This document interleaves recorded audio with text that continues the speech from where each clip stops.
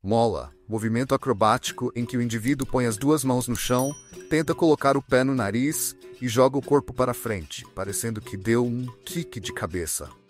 Mortal chutado, movimento acrobático em que o indivíduo dá um ponteiro, virando em seguida um salto mortal de costas.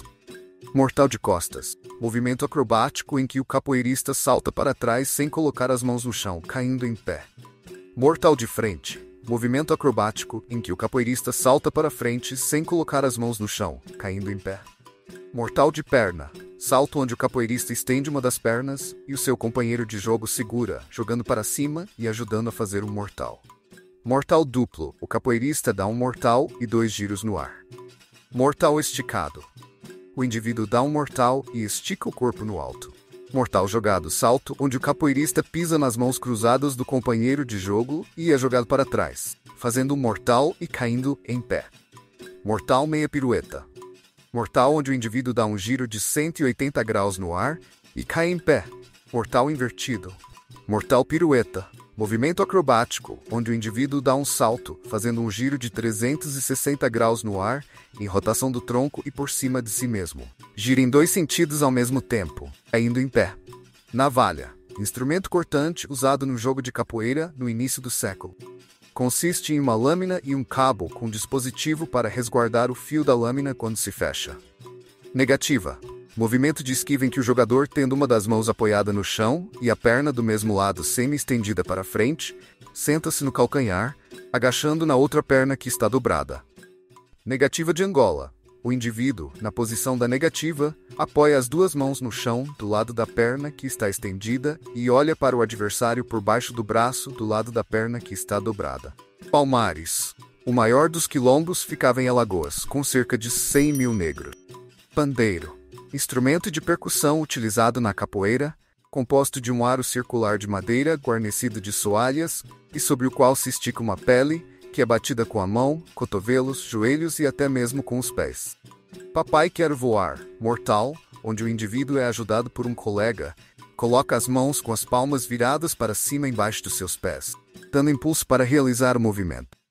Parada de Angola usada no jogo de Angola para descansar ou para atrair o oponente.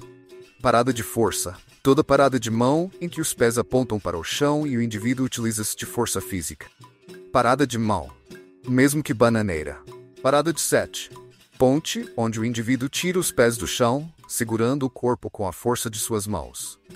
Parafuso. Movimento em que o indivíduo dá uma armada e simultaneamente chuta um martelo com a outra perna, caindo primeiro com a perna que deu a armada e depois com a que deu o martelo, finalizando o golpe na mesma posição.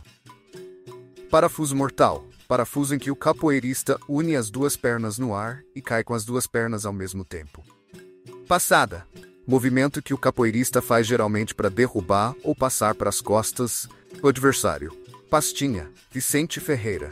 Pastinha, 1889-1983, mestre de capoeira Angola muito famoso e um dos mais importantes pois ele que resgatou a capoeira Angola, que é a base de toda a capoeira. Ele pegou a capoeira de rua e deu objetivos e fundamentos, organizou e moralizou a capoeira Angola. Montou a academia em Salvador. Patuá, muleto protetor. Pé do berimbau, posição em frente ao berimbau. Peão, movimento em que o indivíduo apoia a cabeça e as mãos no chão. Abre as pernas, dá um impulso com as mãos tirando-as do chão e dando um giro completo. Pisão, Golpe traumatizante, onde o capoeira lança rapidamente a perna que está atrás da ginga ou na base contra o adversário, atingindo a região do abdômen com o calcanhar. Pulo do gato. Salto de costas em que o indivíduo coloca as duas mãos no chão, gira, cai em pé. Pulo do gato de frente. Salto para frente com as duas mãos no chão. Puxada de rede. Peça teatral, encenada por capoeiristas, que simula uma pescaria, e geralmente é demonstrada em apresentações e cerimônias de batismo. Quadra. As quadras são pequenas ladainhas com versos compostos de quatro a seis linhas sem interrupção. Conteúdo variável, algumas vezes fazendo sotaques ou advertências jocosas, algum companheiro, ou fatos ou lendas de roda. Queda, caminho básico para perder vantagem no jogo. Levar o companheiro ao solo. Queda de quatro. Cocorinha ou esquiva, onde o indivíduo enverga o corpo para trás e apoia as duas mãos no chão. Queda de rim, movimento em que o indivíduo, na posição negativa, flexiona o braço do lado da perna que está estendida, deixa as duas mãos paralelas e eleva as duas pernas para cima. Queda de 3. Cocorinha ou esquiva, onde o indivíduo enverga o corpo para trás e apoia as duas mãos no chão e deixa um pé levantado como se fosse dar uma ponteira para se defender do oponente. Queixada. Golpe em que o capoeirista cruza uma perna por trás da outra, ficando de lado para seu adversário, levantando a perna que está na frente, descrevendo um semicírculo no ar, retornando à posição inicial.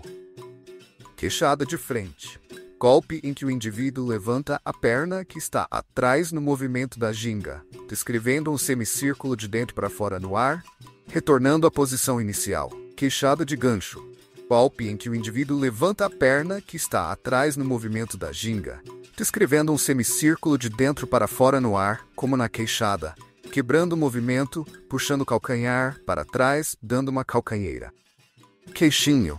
Chute frontal em que o adversário ergue a perna flexionada, estendendo-a com o objetivo de chutar embaixo do queixo do adversário, parecido com a ponteira. Rabo de arraia, meia lua de compasso sem as mãos no chão.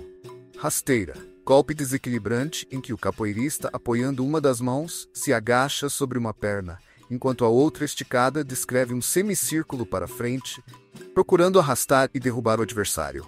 Rasteira baiana, rasteira, onde a perna que arrasta o adversário descreve um semicírculo para trás. Pode ser chamada de rasteira ao contrário. Roda, círculo formado por capoeiristas onde duas pessoas, ao centro, jogam capoeira, sendo substituídas por outras ao decorrer do jogo, enquanto as pessoas que estão em volta batem palmas e respondem o coro cantado e tocado por capoeirista. Roda de pau.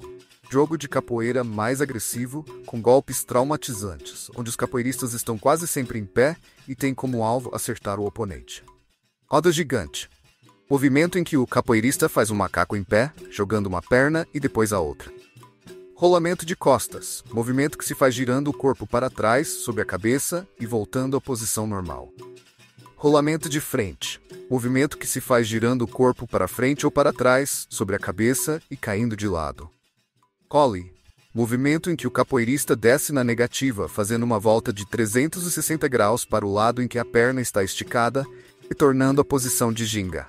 S, dobrado, ameaça de rasteira, onde o capoeirista na posição da negativa, chuta para trás com a perna que está estendida, subindo no macaco sem colocar o pé no chão. Samba de roda. Oda de capoeira para homens e mulheres sempre em casais, onde estes sambam e se divertem. Samba duro. Samba só para homens, onde eles sambam e emitem golpes tentando derrubar os adversários. Santa Maria. Toque de berimbau. São Bento, santo protetor dos capoeiristas. São Bento Grande de Bimba, toque de berimbau, inventado por Mestre Bimba. São Bento Grande Regional, toque de berimbau, inventado por Mestre Bimba. São Bento Pequeno, toque de berimbau. Sapinho, o capoeirista faz uma negativa, trocando de lado para outro sucessivamente. Senzala, local onde morava a escravaria sob o comando de um senhor. Também é o nome do grupo de capoeira mais famoso do Brasil, o Centro Cultural Senzala de Capoeira, fundado em 1964 por Mestre Peixinho. Sequência de Bimba. Sequência de golpes e movimentos criados por Bimba para a capoeira regional. Sinhá. Corrutela de senhora. Senhor. Corrutela de senhor. Suicida. Salto para cima, seguido de rolamento. Ticum. Faca de madeira. Tucum. Faca de osso de animal ou de gente. Telefone. Tapa que se aplica simultaneamente com as mãos em concha, nos dois ouvidos do adversário. Tesoura de costa. Golpe desequilibrante em que o capoeirista entra numa rasteira baiana, coloca uma das mãos no chão, jogando a outra perna no abdômen do adversário, derrubando para trás. Tesoura de frente. Golpe desequilibrante em que o capoeirista entra numa rasteira de frente, jogando a outra perna no abdômen do adversário, colocando as duas mãos no chão, derrubando para trás. Tesoura de pescoço. Golpe desequilibrante em que o capoeirista, apoiando as mãos no chão, procura prender com as pernas o pescoço do adversário para derrubá-lo. Tesoura voadora.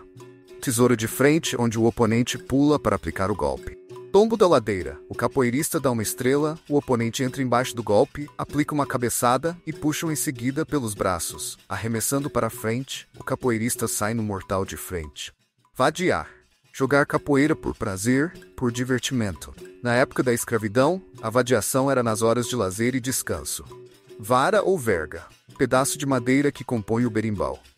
Vingativa, golpe em que o indivíduo posiciona-se lateralmente e coloca uma das pernas atrás das pernas do adversário, empurrando-o para trás com o braço aberto. Voadora. Capoeirista corre e aplica uma chapa pulada. Volta ao mundo, quando dois capoeiristas interrompem o jogo, correndo em círculo e descansando em seguida, cuidado, está dentro da roda. Voo do morcego. O indivíduo corre e salta com os dois pés juntos no adversário. Zum zum zum. Fofoca, comentários.